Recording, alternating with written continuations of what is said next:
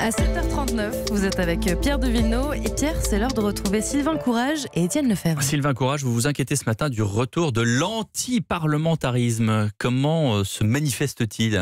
Eh bien, par la violence exercée à l'encontre des élus de la nation. Nous assistons à une nouvelle flambée haineuse depuis le vote de ratification du CETA, ce traité commercial entre le Canada et l'Union européenne.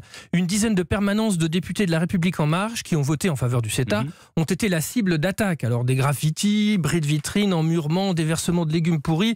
Le pire est presque arrivé à Perpignan samedi, en marge d'une manifestation de Gilets jaunes. La permanence du député LREM Romain Gros a été vandalisée à coups de barre de fer par des hommes en noir qui ont mm. mis le feu alors que l'élu était présent dans les locaux. Mm.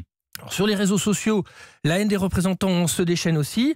Un blog hébergé par Mediapart a publié la liste des 123 parlementaires qui auraient commis l'irréparable en accueillant à l'Assemblée l'icône écolo Greta Thunberg le jour même où ils ont approuvé le fameux CETA, considéré comme climaticide.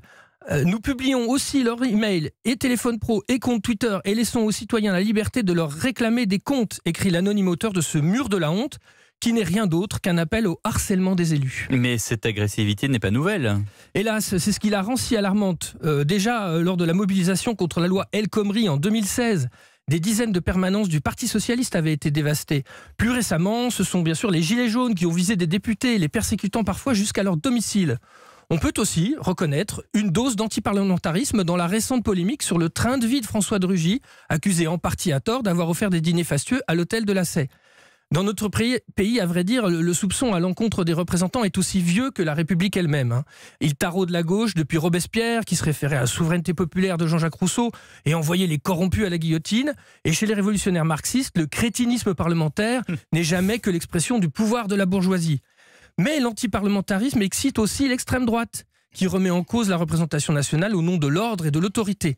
De Charles Maurras au mouvement ligueur et fasciste, cette détestation a atteint son paroxysme toxique dans les années 30 et aboutit au sabordage de la Troisième République. En définitive, l'antiparlementarisme est le dénominateur commun de tous ceux qui voudraient tourner la page du gouvernement démocratique. Mais les citoyens doivent aussi pouvoir contrôler les élus. Oui, mais grâce à leur bulletin de vote, c'est ainsi qu'ils sont souverains mais s'ils deviennent tyrans, s'ils prétendent contraindre d'autres citoyens par la menace ou par la force. Une partie du mouvement des Gilets jaunes a fait grand cas du référendum d'initiative citoyenne, le RIC, présenté comme la panacée de la démocratie directe. Mais qu'adviendrait-il d'un tel système si chaque citoyen s'autorisait à terroriser son voisin sous prétexte qu'il n'a pas voté comme lui? En démocratie, toute cause perd sa légitimité à être défendue par la violence. C'est la règle numéro un. La fin ne justifie jamais les moyens.